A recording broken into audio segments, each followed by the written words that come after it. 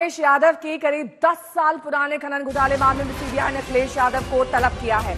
आज अखिलेश यादव को पेशी के तौर पर सीबीआई ने बुलाया है। बतौर गवाह तलब किया गया है, लेकिन खबर यह कि अखिलेश आज पेश नहीं होंगे। सूत्र के हवाले से खबर आ रही है कि अखिलेश सीबीआई के सामने बतौर गवाह नहीं पेश होंगे। संतोष शर्मा मेरे सहयोगी जुड़ गए हैं तमाम जानकारी के साथ।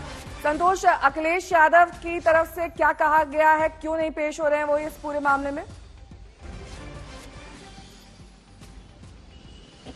देखिए, अखिलेश यादव ने इस पर कोई ऐसी प्रतिक्रिया नहीं दी है, लेकिन इतना ज़रूर है कि जो उन्होंने कहा कि 2019 में भी उनको नोटिस दिया जा चुका है। रही बात आज पेश होने की तो आज अखिलेश यादव अपनी समाजवादी पार्टी के तमाम फ्रंटल्स की बैठक लेंगे।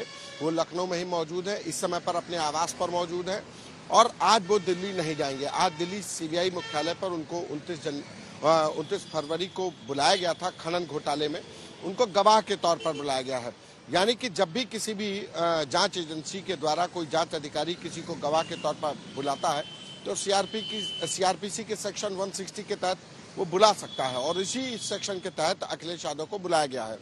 2012 और 13 में जब अखिलेश यादव उत्तर प्रदेश के मुख्यमंत्री थे और मुख्यमंत्री के तौर पर उनके पास खनन विभाग का चार्ज था उस समय पर जो खनन के 16 पट, जो पट्टे आवंटित किए गए एक दिन में 16 पट्टे आवंटित किए गए। एनजीटी के जो नियम थे उसका उनको दरकिनार करते हुए इसी मामले में सीबीआई ने जनवरी 2019 में एक एफआईआर दर्ज की थी जिस समय जिसमें तत्कालीन डीएम हमीरपुर थी, बी चंद्रकला, उनके साथ रमेश मिश्रा, जो पट्टा जो जिनको पट्टा आवंटित किया गया था, तमाम पट्टा आवंटी उनको नामजद किया गया था।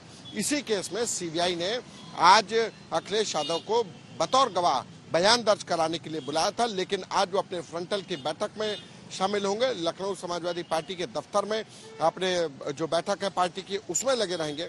सीबीआई के बुलावे पर अखिलेश यादव आज दिल्ली नहीं जा रहे हैं। ठीक है। सीबीआई के बुलावे पे नहीं जा रहे हैं